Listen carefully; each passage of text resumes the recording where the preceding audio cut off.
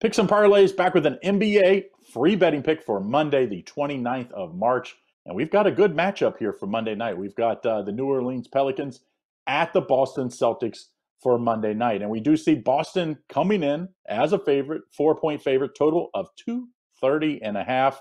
And we see two teams that uh, both not that far off on records. The Pelicans 20 and 25 on the year straight up, and the Celtics 23 and 23 that have played a little better since the trade deadline. The Celtics with a nice win at Milwaukee uh, just a few games back that and almost won three games back at Milwaukee as well. But uh, the one thing the Celtics have been good at has been pretty good at home this year 13 and 7 straight up and 12 and 8 against the spread. And the Pelicans have not been great on the road, just 9 and 11 against the spread. So to me, I think you have to give Boston a little credit here. I think they're they just play defense. The Pelicans play no defense. And yes, Zion's been playing really, really well. But I just don't think that's enough against a Boston Celtics team that's so deep.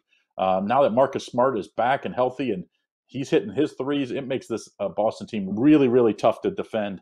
I just think this Boston team is on a mission to get back in, uh, to not just make the playoffs, because I think they're going to make the playoffs in a weaker Eastern Conference, but to get a, a home court advantage. So they're going to need to make a run and put some games together. I think they continue that run tonight.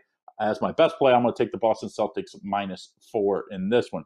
Now, when you look at the total here, I think you have to be careful when you, you usually see these Pelicans games. You think over because this Pelicans team can really score and they play a zero, and I mean a zero defense. So, um, but you have to be careful because when these totals get into the high 220s or low 230s, I mean, it only takes one quarter where you don't um, have a good scoring quarter and you're going to end up on the under. But I think I would still lean toward that over. Uh, but you have to be careful because this line is, I see the totals creeping up. It looks like it's going to move to about 231. I would probably end up at 231 and a half. So I would probably I tell you just play the Celtics on the side at minus four, just the safer play in my opinion in this game. So that's what I like for a free play for Monday night. Don't forget, get in on our best bets, 20% off co- promo code. Use that promo code SWEET at checkout to get over my best bets or any of your other picks and parlays expert.